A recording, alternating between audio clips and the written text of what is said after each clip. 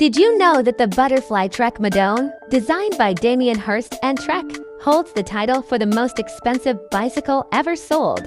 It was purchased for a whopping $500,000 and features a one-of-a-kind design with real butterfly wings, along with high-performance components like a Shimano Dura-Ace Group Set and Bontrager Aeolus 5.0 carbon fiber wheels.